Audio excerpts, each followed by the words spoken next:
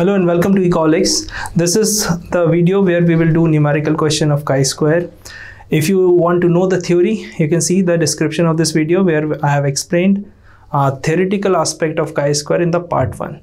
So before watching this lecture, I would appreciate that you should watch the previous lecture on chi-square. So this is part 2 where we will discuss about numerical. Now this is the numerical in front of you. Here you can see this is the TV screen size, small size, medium size and large size. And you can see this is the ob observed frequency and this is the expected frequency. Now you imagine that you are a shopkeeper and this is your expected stock limit. Like small screen size you need 30 television. On the same lines 40 television for mid-size screen and the 30 television for large size screen. It means you want to order 100 in order to deliver or sell on your shop.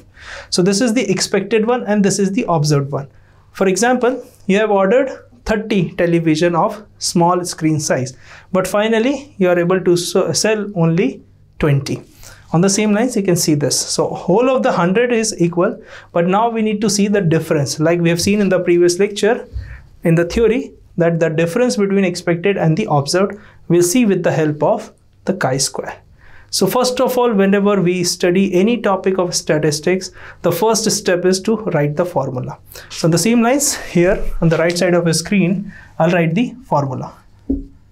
So chi-square is equals to summation f0 minus fe divided by fe. This is whole square. Now here what you need to do, here there are two types of analysis under chi-square like I've explained in the last video as well. The first thing is to check the goodness of fit and the second thing is to test the independence. So here we are not seeing independence, what we are seeing the goodness of fit.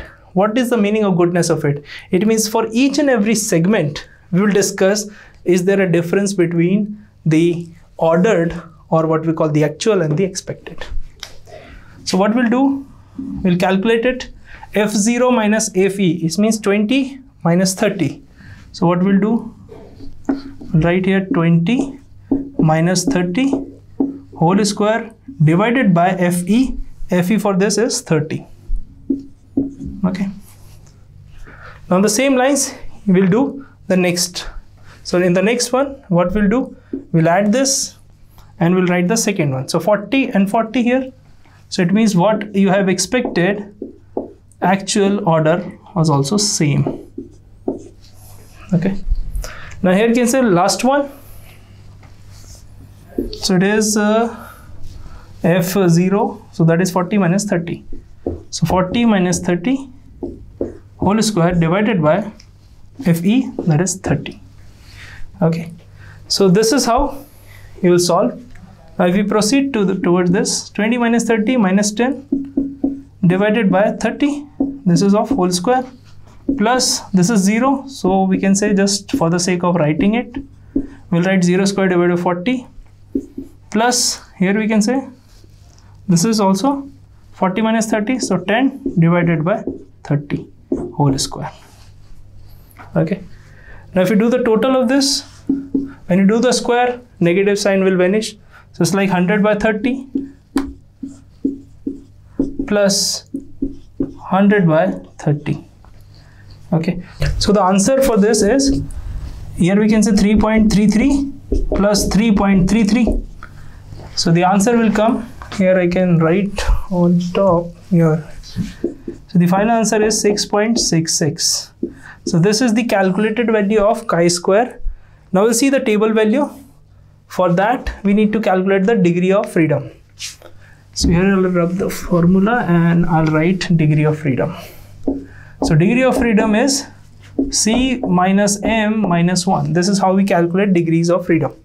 Now what does this means? It means that the data allows to move in that particular uh, domain or in particular range. That is what called degrees of freedom. So at the 5% level of significance, we are checking this data of chi-square. At the 5% level of significance, we are looking that this expected and observed frequency, they are equal. So degrees of freedom, we can say C is number of columns. So 1, 2, 3. I'll write 3. Here M is the population. So we don't know the population. We'll write 0 minus 1. So this is equal to 2. So at the degrees of freedom of 2 and we get this value, we'll see the chi-square table value. After seeing the table value, the table value comes out as 5.99. So this is the calculated value on top and the table value is at bottom. So here I'll write table value.